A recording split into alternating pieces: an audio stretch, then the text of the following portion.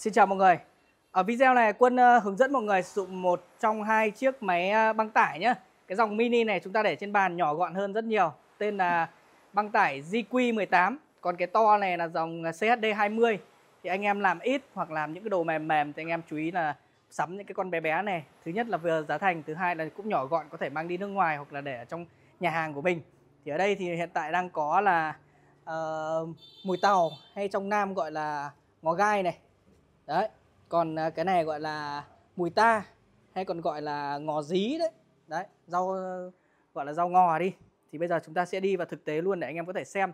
Trước khi mình bật máy thì mình cũng hướng dẫn luôn mọi người nhé ờ, mở cái này ra này. Ở đằng sau nó sẽ có hai cái công tắc điều khiển nhanh chậm tốc độ của băng tải và con dao. Ví dụ như đây mình đang điều khiển cái tốc độ nhanh chậm của con dao. Đấy, đây là băng tải. Đây là vận tốc nhanh nhất này mình đang vận chỉnh mạnh nhanh nhất này còn đây là cái vận tốc nhanh nhất của băng à, băng tải này. Thì bây giờ sẽ đi vào thực tế để anh em xem nhé Đấy, sẽ phải đóng lại cho an toàn. Để trong khi nó nó đập ra xong nó nhảy xuống cái kia luôn cũng gọn gàng sạch sẽ hơn.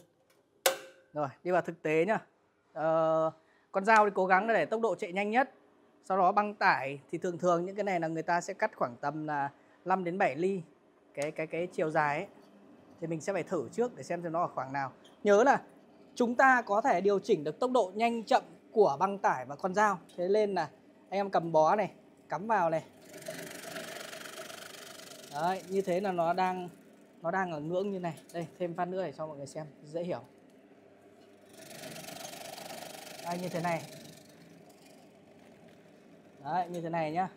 Bây giờ là mình mình sẽ cần to hơn. Thế nên là mình sẽ điều chỉnh tốc độ nó nhanh hơn ở cái băng tải ấy to hơn này.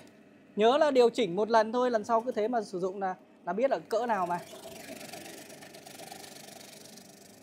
Đấy, đây là to hơn này.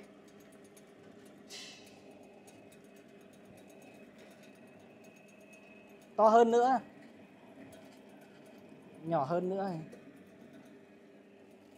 nói chung là anh em cố gắng điều chỉnh xong rồi các lần sau nó cứ thế nó chạy thôi. Đây. Ok chưa? Hợp lý chưa? Anh em ờ, điều chỉnh tốc độ nhanh chậm là do mỗi người nhé đấy, mình làm để cho mọi người biết thôi. Còn lại là khi chúng ta dùng thì chúng ta có thể là cắm vào liên tục thôi.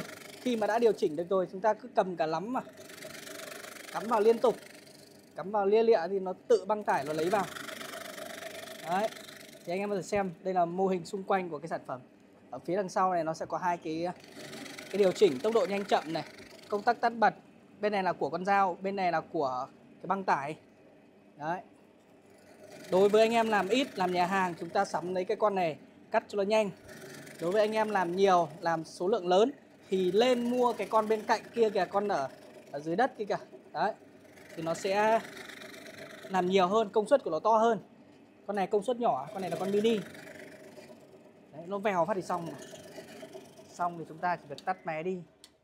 Đấy, mọi người xem. Thường thường các cái loại là canh các các thứ hay là phở bún gì đấy là người ta hay sử dụng những cái dòng này. Thái nhanh, gọn, nhẹ, tiện hơn cho mọi người. Còn ờ, một cái vấn đề nữa là là khi anh em sử dụng xong ấy, thì cố gắng là tháo ra để chúng ta vệ sinh, thì cố gắng dùng cái khăn ẩm khăn ẩm xong rồi chúng ta lau lau nó đi, khăn ẩm lau nó đi, vệ sinh sạch sẽ. Đấy, mọi người có thể xem qua cái video này để giới thiệu qua ngoài cái này ra thì chúng ta có thể thái như là hành lá ớt hoặc là những cái cái loại mềm mềm nhá. Còn nếu mà anh em à, xác định thái xả thì mình ờ, khuyên mọi người nếu mà thái xả dùng cái băng tải to này thì cái công suất của nó khỏe với chơi được những cái thằng to như thế chứ con này hơi bé. Đấy và cái đặc điểm của cái, cái chiều dài này chiều ngang rộng của cái băng tải này nó là 6 cm nhá. Còn thằng to kia thì nó sẽ là 8 cm để anh em có thể là phân biệt được và lựa chọn cho mình những cái dòng sản phẩm tối đa nhất, phù hợp nhất với cái giá thành. Anh em truy cập trang web máy thực phẩm hoàng quân.com hoặc gọi theo số hotline 0941111699 097 368 4391 xin cảm ơn mọi người, xin chào.